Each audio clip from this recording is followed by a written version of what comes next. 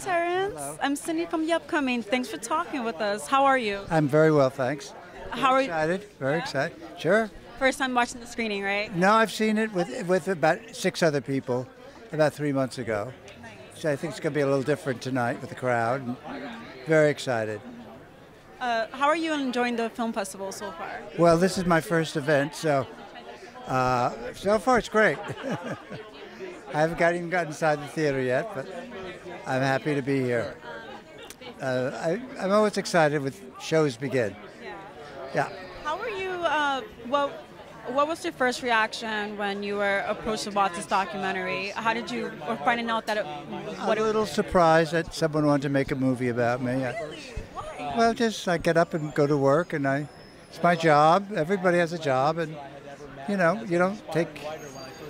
This was my job, and I think with people want to see how I do the work.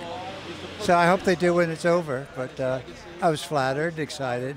It's wonderful recognition, so that's great.